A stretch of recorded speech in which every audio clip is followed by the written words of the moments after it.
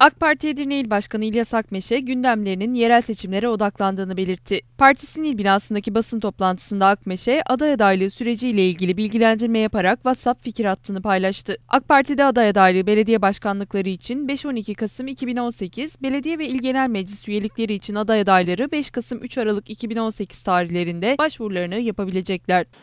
Evet artık gündemimiz yerel seçimlere odaklanmış durumda. 2 Aralık'ta Merkez Karar Yönetim Kurulu kararın, kararıyla da bizim de AK Parti'de aday adaylığı başvuru süreci bugün itibariyle başlamış olunmaktadır. Be, AK Parti'de belediye başkanlıkları aday adaylığı için bugün 5 ve 12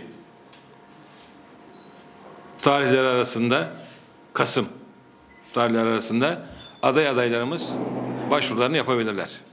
Başvurular hafta sonları da kabul edilecek. Bu nedenle teşkilat binaları açık ve müracaat almaya hazır tutulacak. Belediye başkanlığı aday adaylığı için müracaat edecek teşkilat mensupları da bu süre içinde görevlerinden istifa edecek. Belediye başkanlığı aday adaylığı için müracaat, edecek teşkilat mensuplarımız da bu süre içinde görevlerinden istifa edecek arkadaşlar.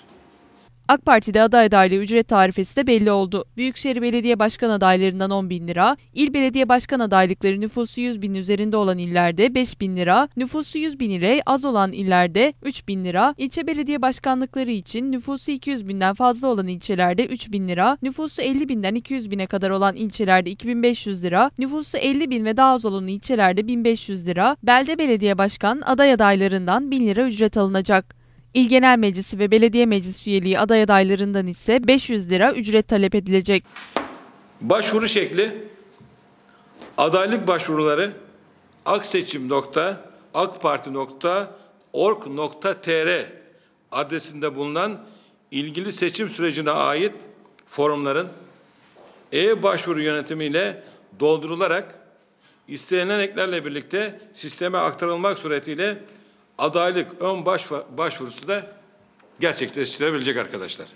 AK Parti İl Başkanı İlyas Akmeşe, partilerinin Edirne Belediye adaylığı konusunda Edirneliler kime aday görmek istiyorsa o ismin aday olacağını belirtti. Edirneliler aday kimi görmek istiyorsa hiç kimsenin şüphesi olmasın.